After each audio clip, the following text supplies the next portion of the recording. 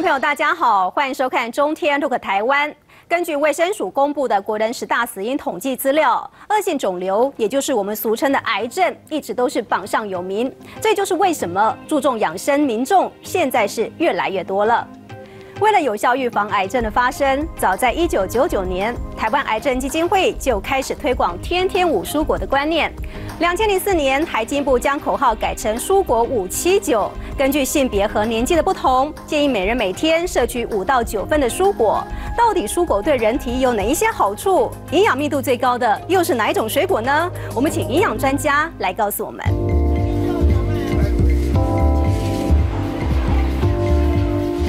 就算风灾过后，蔬菜水果应声涨价，不过妈妈们看到这些五颜六色的蔬果类，还是一把一把抓。因为对很多人来说，肉可以不吃，但蔬菜水果却不能少。因为研究发现，每日摄取五蔬果可以有效防癌哦。蔬果呢，大家都知道，它除了水分以外，它其实含有非常丰富的维生素、矿物质、膳食纤维，还有最近很流行的植化素的部分。那这些呢，营养素呢，种类这些营养素的种类虽然量都不多，但是它在我们身体里面扮演非常重要的角色。包括呢，它可以维持我们的新陈代谢，还有参与一些酵素的活性或者它的作用。还有呢，它具有抗氧化的角色。还有呢，还有所谓的调节免疫力的等等的一个功能。蔬果拥有高营养素，众所皆知。但市面上放眼望去，选择这么多，哪一种的营养密度最高呢？哎，答案揭晓，那就是这一颗颗咕噜咕噜的奇异果。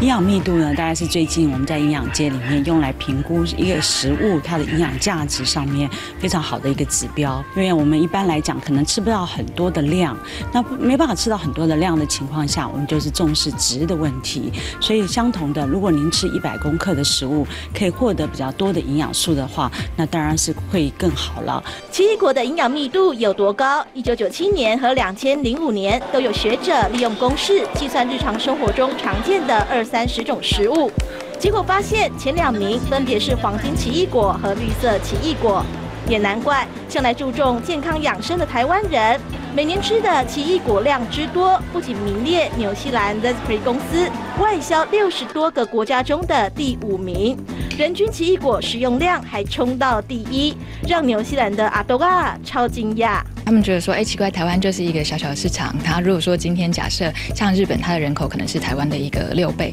可是使用呃消费量来讲却没有台湾到这么高。对，所以如果说哎每一个国家都能够像台湾这么爱吃奇异果的话，大概目前全纽西兰的奇异果的产量绝对不够吃的。只不过讲到这儿，大家可能会好奇，绿色奇异果和黄色奇异果到底有什么不一样啊？绿的奇异果跟黄金奇异果来讲的话，其实对消费者最最直接的一个口感上的差异，就是呃绿色奇异果可能是一个酸中带甜的一个味道。呃，黄金奇异果为什么之所以会有这个呃甜味的一个奇异果的一个推出，它主要是因为当初呃就是在亚洲这个市场，那后来观察到说，哎，好像亚洲比较习惯于就是像热带水果这种比较偏甜的一些水果，所以就是在纽西兰来讲，他们就天然育种，然后培育出这样子一个呃黄金奇异果的一个新品种。奇异果跟很多的水果一样，哈，你放在入菜里面，其实可以增加颜色，也可以增加营养价值。但是很重要，就是因为我们常讲奇异果里面最丰富的就是维生素 C。在入菜的时候呢，第一个可能不要选太熟的水果，因为太熟的话，入菜以后可能呃口感上面就会有点不太好了。另外呢，不要加热，好，我们就可以最后我们菜要起锅的时候，我们再把它拌进去。如果您是要用烹用热烹调的话，那当然如果凉拌的话。就没有这个考量。不管是入菜还是直接吃，都能为身体健康大大加分。身为忙碌的现代人，想有效远离癌症，那么选择营养密度高的蔬果就对了。